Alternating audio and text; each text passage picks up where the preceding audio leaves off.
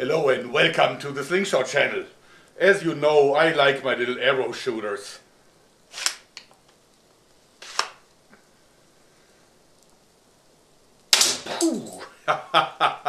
this repeating action works real nice, but of course it's still slow and I want to shoot it in full auto at machine gun firing rates with a huge magazine.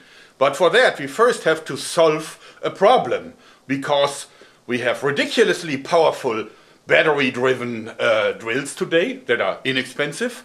Now how to convert a rotational force into something that pushes back a string. That is the challenge.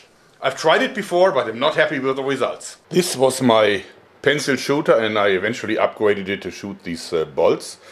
And it works, but the problem is that this rotational device here, as you see, when the rubber is getting too strong, then the friction is going is too high, and actually the whole thing then jams here and actually tears the rubber bands apart. So this rotational device is not the solution. We need the same kind of push mechanism that I use in this one here. And therefore I've decided to try rack and pinion. But I also wanted to make a test device first to see if it's working before I invest all the money and time in making a full-blown prototype.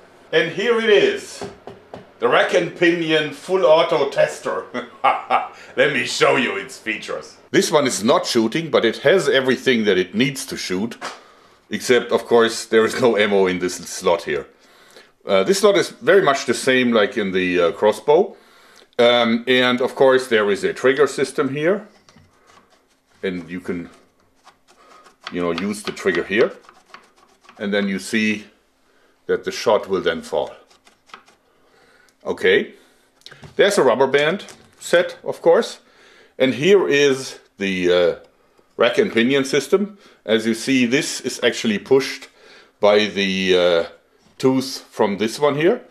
But of course, this is only partially equipped with uh, teeth. So here, there are none. And I'll show you why. First, take off the main rubber bands so that you see how it works. As you see, this one here will push the string down into the lock. And if you turn this one here, what happens is that, you see, it shifts it all the way until the whole thing is cocked. And then it jumps back because it's also rubber driven. And then next thing is that this trigger here is actually releasing the shot. So each rotation completes a circle. Cock back the bands, and then shoot. Okay, let me show this to you. All right, so starting to turn, and as you see, this is pushed back, and here you see that the rubber band snapped in. Now the push rod is back to the front, and now the shot falls. And you can keep doing this. Actually, you can do this rather quickly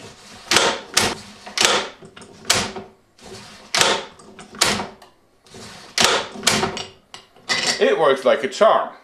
Alright, now we're using the drill.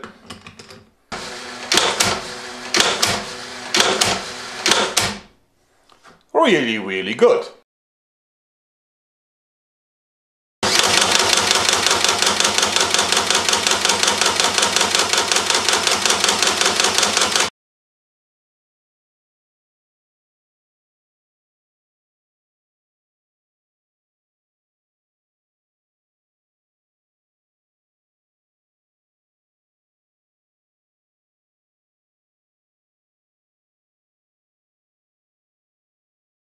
And now we're testing it in second gear.